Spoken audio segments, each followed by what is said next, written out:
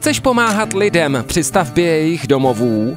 Chceš pomáhat také při stavbě budov, které nejsou určeny k bydlení? Pokud ano, přihlas se na obor zednické práce. Dostaneš potřebné zednické vybavení, které tě naučíme používat. Budeš pracovat jak se základním nářadím, tak i se stavební mechanizací. Na cvičném pracovišti se naučíš základní zednické dovednosti, vyzkoušíš si, jak si práci připravit a potom dílo správně provést. Na stavbě se naučíš pracovat v reálných podmínkách. Odměnou ti bude nejen vytvořené dílo, ale dostaneš také finanční odměnu. Spolupracujeme s významnými výrobci stavebních materiálů a stavebními firmami z okolí, které podporují přípravu žáků. Jestli chceš mít jistotu pracovního uplatnění, vyuč se v oboru zednické práce.